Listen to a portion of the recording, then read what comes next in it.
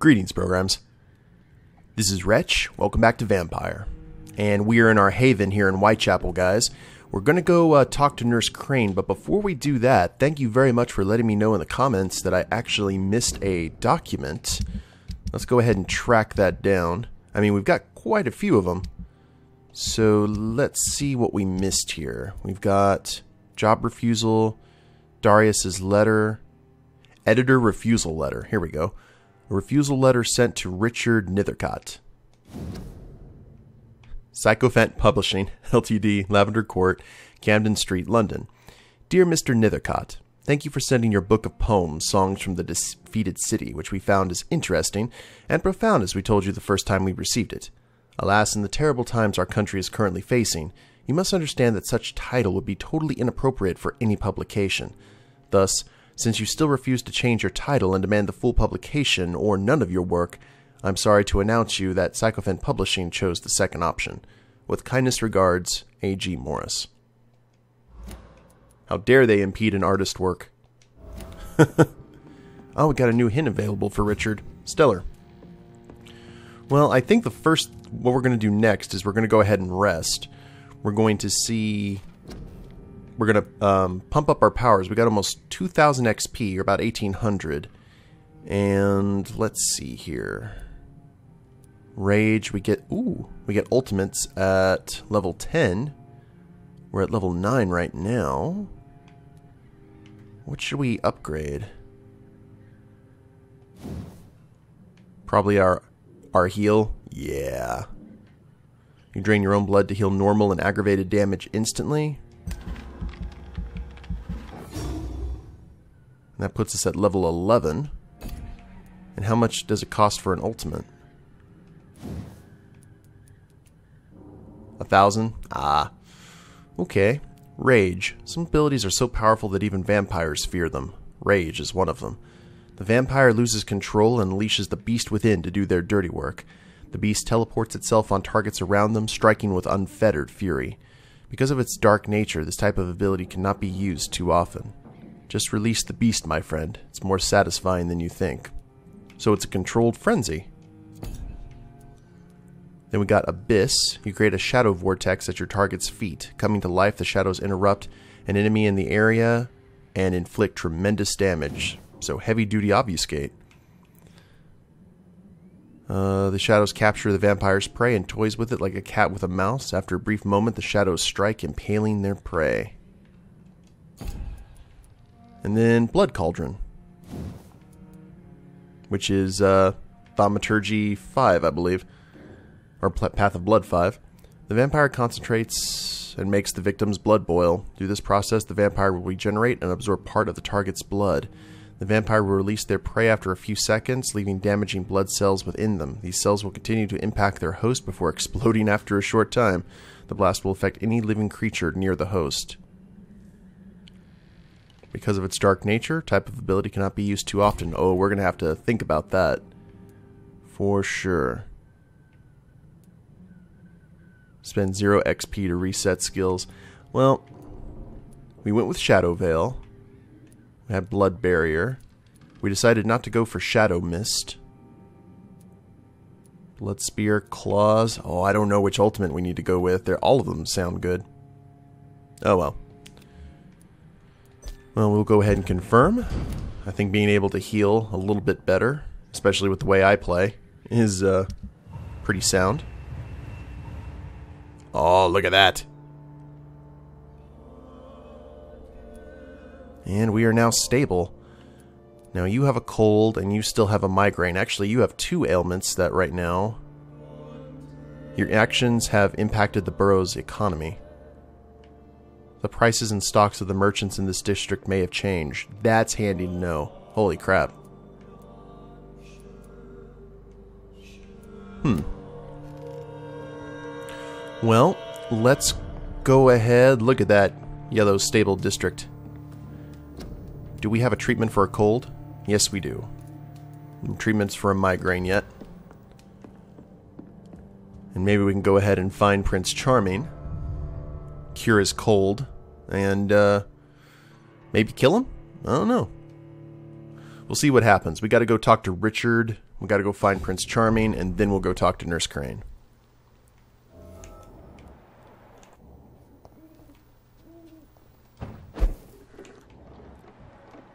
We got a person right there. There's Harry in the house. We've got rats. Where would that guy be? Barrett Lewis. Okay, Harry's up there. Father Tobias, the You are blinded by your false faith. Clayton, imprisoned by your who's feeling better.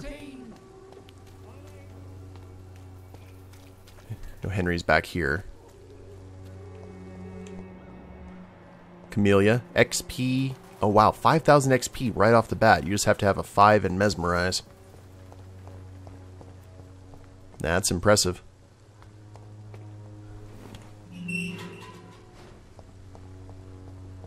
I think we're probably going to get that argument from him that we don't want you don't Good impede evening, an Mr. artist. And good evening to you too, my good sir. Can I be of any help? Ooh. You don't really make a living from your scribblings, do you, Richard? No, sir, I don't. I work so hard. I put all my time, my energy, my devotion into the precise carving of words. Still, you don't seem to suffer from poverty. With thanks to my parents, actually.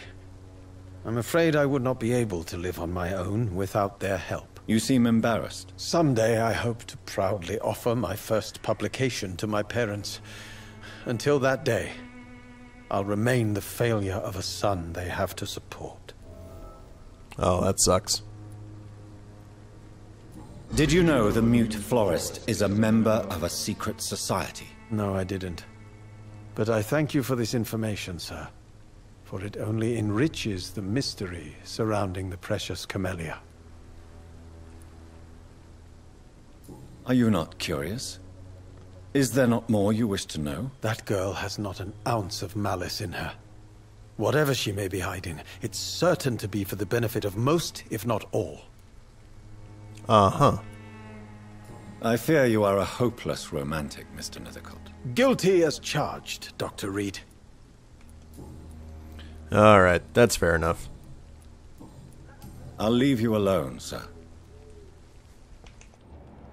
And we his XP is now his blood quality is maxed. We could become so powerful in this game so quick by just killing people. And that's the that's the temptation. That's what we have to have to try to avoid, I suppose. Uh, Clayton still has some. Now I'm looking at their blood quality. I really shouldn't be, but I am. By your daily routine. And Joe still has a little bit. Cheap price, good quality. Come on, take a look. Don't be afraid. And I said that the vendors changed. Fancy buying something, sir? You never lose your focus, do you? Right then. Show me what you have. Aluminum powder, shard, and just materials, common trigger parts. Okay. I'm wondering if the lady has more of the cordial or cordial. There's Cadogan. Good evening, sir. Do you remember me? If you're here for a reward, you'll be sorely disappointed. But I'll gladly shake the hand of a fellow countryman. I'm not here for a bounty. I'm a doctor. Dr. Reid from the Pembroke. A doctor? In Whitechapel? What an opportunity. My name's Bates, Cadogan Bates. Do you require assistance, Mr. Bates? Not me, but your skills could help a lot of people round here. That would help my business, because I say a live tenant's a paying tenant. Well, that's callous, but it's not wrong. It's unusual to see someone so happy around here, especially considering the current situation. Why should I be sad now? There've always been wars, disease, tragedy. There always will be. That's an unusual way of seeing things in these trying times. I don't see why I should shed a tear for another man's woes. I'm healthy, and I intend to stay so. But you have a cold. What is your business exactly? I offer fair lodgings for a modest price to the poor and weary of Whitechapel. I see. And what about those who cannot pay? Well, deals can be done, if you know what I mean. Money's not the only currency. After all, I'm not immune to a pretty face. Oh, yeah. We probably will kill him.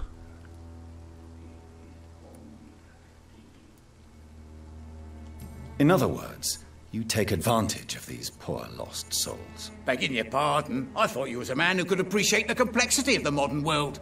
Things ain't just black and white, you know. Ye- uh, no, that's that's not how you legitimize that argument.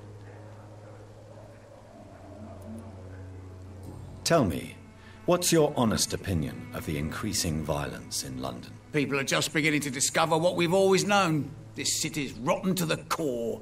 They just took their bloody time to wake up and notice it. What do you mean? People are acting like the violence is news. But it's always been savage down here. It just bubbles to the surface every now and again. What help could I possibly be to your business? That's simple. I already get good money from all those fleeing the war. Can you imagine what they'd be willing to pay if I could offer medical assistance too? Mr. Bates, do not make me regret saving your life in this quarantine zone. Too late. I late. understand, Dr. Reid, you're from a good family. Don't want to get your hands dirty. That's fine. I'll be happy to act as your middleman. Well, with you, I prefer to get my fangs dirty.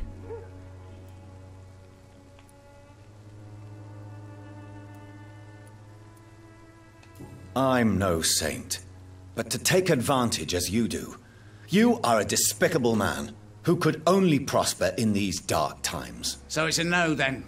That's too bad. The Reid tonic could have really helped people, you know, saved lives. Isn't that what you do? I mean, people buy that Swamborous shit. That is true. We need to deal with that as well, I would think. I'm looking for Dorothy Crane. She's a nurse. What can you tell me about her? Dorothy Crane, bless her soul. I really should thank her someday. Tell me truthfully, why are you so thankful? By keeping my tenants alive, she's making me a rich man. Every month they live, it's more coin in my pocket. Has she treated you? No. When I need a checkup, I'd go to a bloody doctor, not some back alley clinic full of sick foreigners.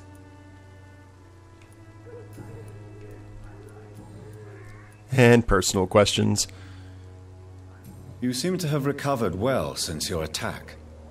Do you ever think about what happened to you? Not much. It was a fucking nightmare. Savages, absolute bloody savages. Their appearance. Jesus. It made me want to puke. You'd better not come back here.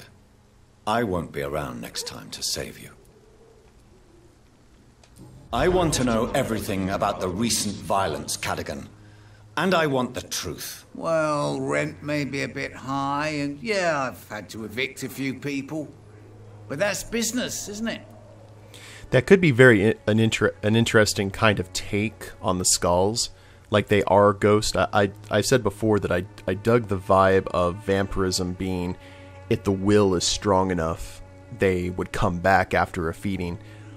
But the thought that a skull who is still kind of savage and feral would focus on the last thing that tormented them, such as Cadogan Bates here, that's a cool combination of the vampire and the ghost myth. So.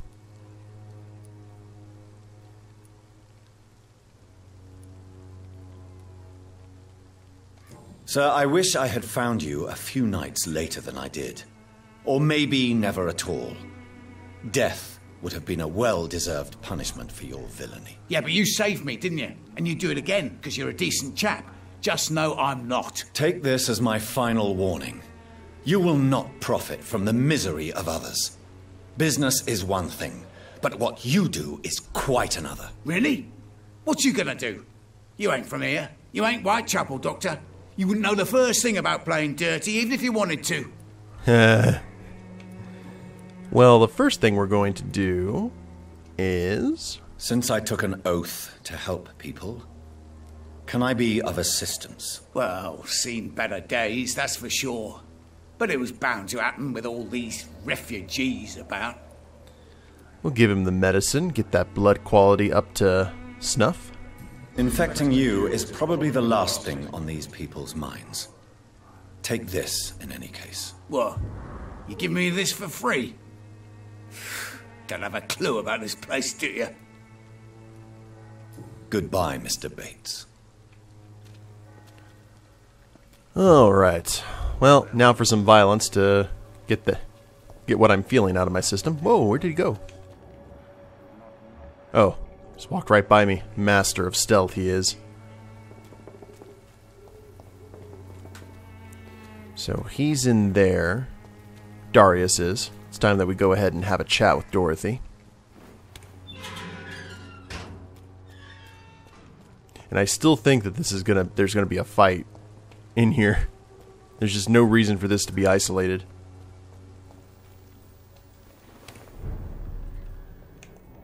Hello? Find Dorothy in the dispensary. Hello, folks. Clove essence. Texts.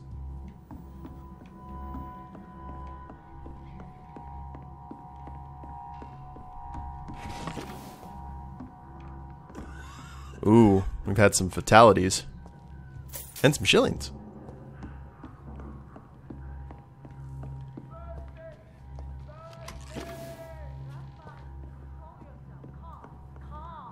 Oh, someone may have been turned. Razvan, can you hear my voice? She up there. Ooh. Okay, unknown blood quality.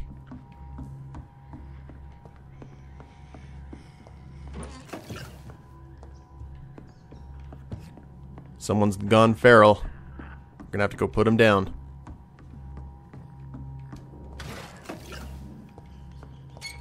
Hi, Dorothy. Give me a moment.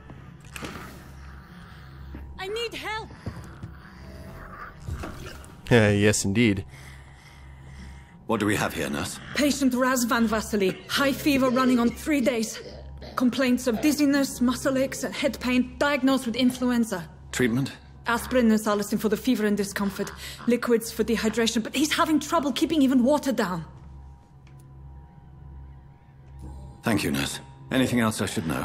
He did lose consciousness this morning, but he's never had convulsions like these. He's not convulsing, he's choking. He's not getting any air. Scalpel! Hand me that scalpel! Tracheotomy? What can I do, Doctor? It's too dangerous to operate with these convulsions. Sedative, nurse. Do we have any anesthetics? I'm sorry, Doctor, none at all.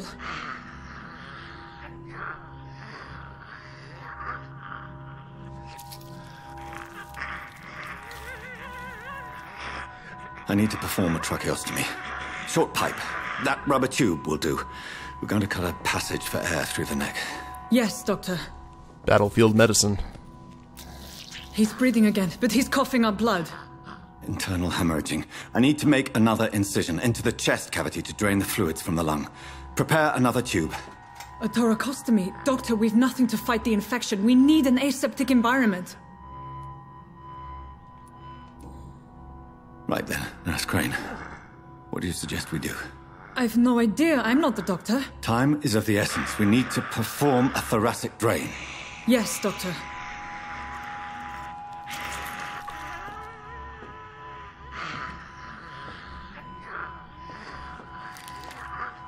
This is tense. He's still bleeding, Doctor. I'm losing his pulse. The drain must have punctured the intercostal artery. There's too much blood. Are you alright, Doctor? Oh, I can't see.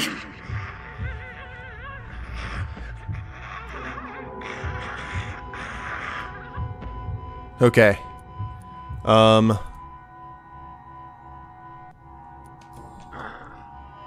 I must first suture the artery. Find the wound. The source of the blood. Needle and thread, Doctor. Good. The stitches are holding. How's he doing? We're losing him. We've lost his pulse. He's dying, Doctor. Snack time. Okay. Cardiac massage, now. Cardiac. What? Are you making this up as you go along? Maybe.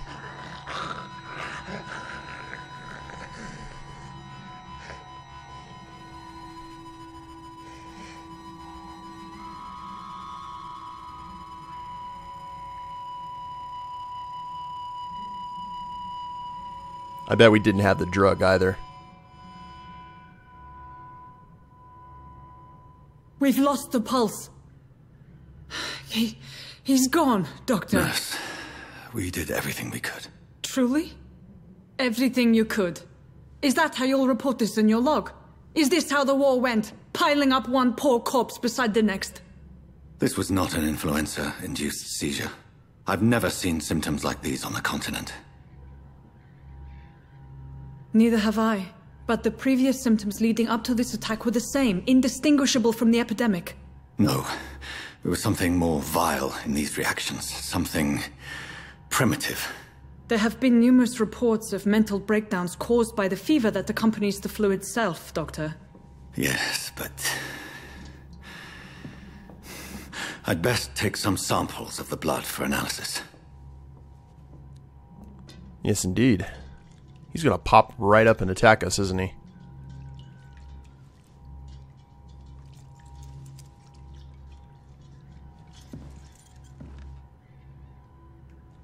I doubt you're here to test my bedside manners. You are correct. I'm here to uh, raid your clinic and then have a what chat. I owe this courtesy? It's locked, all right. I thought he, she said, "What do I owe this cutscene?" I was just like, "Wow." This is an unfitting place for the illustrious Dr. Reid. I suspect it was more than intuition alone that led you to us. So, how might I be of service, Dr. Reid?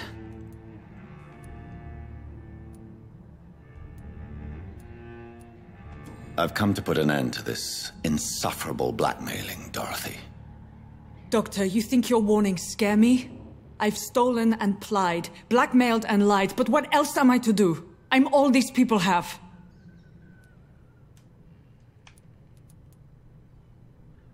But why Lady Ashbury?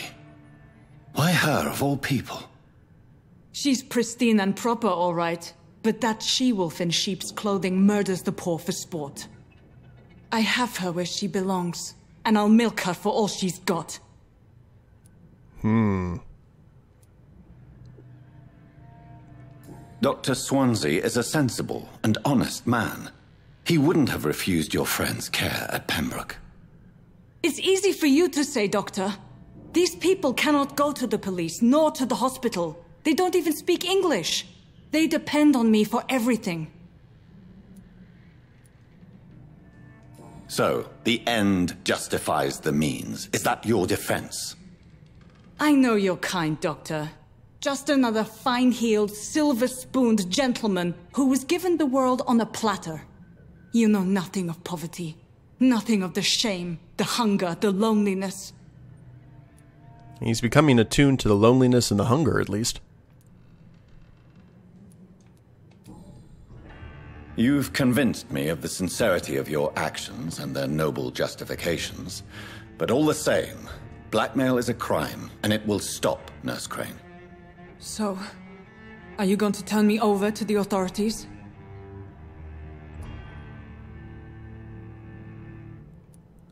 I will look away, but you resign. Charm. You will forget all about this. Embrace. I'm ending this right now. So embracing is killing, not not the uh, VTM style create another vampire thing, because that would that would be kind of cool. But um, so we're not definitely not going to kill her. Charming seems interesting, but it's one of those things she'll forget she'll forget about everything that she's doing here and more people will die. So maybe let's let's go ahead and spare her. She's I mean her heart's in the right place. Her head may not be. But yeah, let's go ahead and spare. That's cool that it gives us a third option though.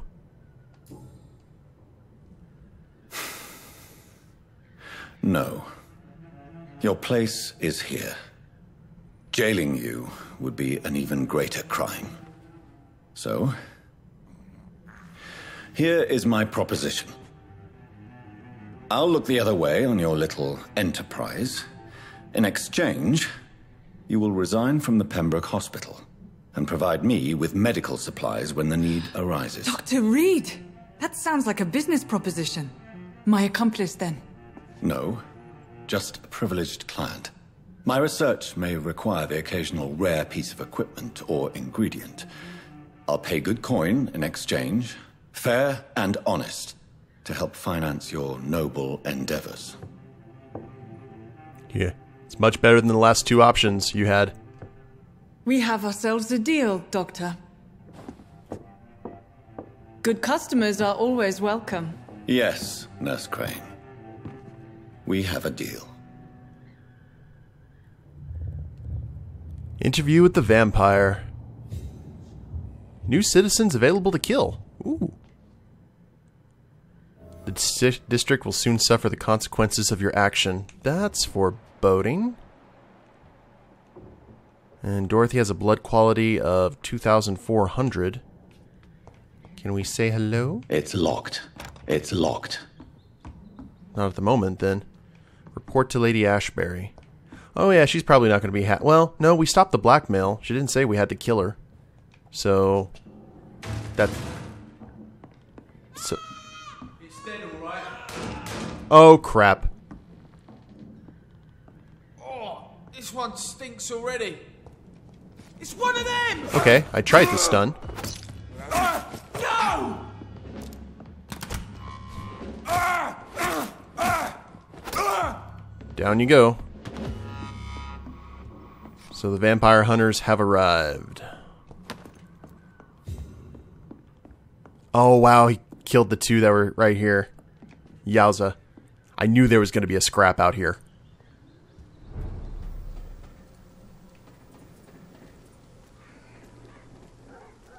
And if you guys are just going to hang out, then... Crush the leech! Uh huh. Oh! Nice. Let's get our stamina back.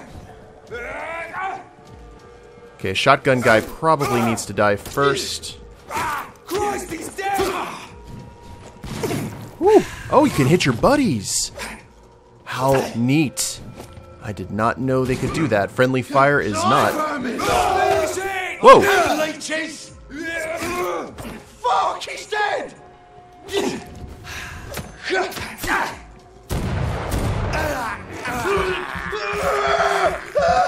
Thank you, friend.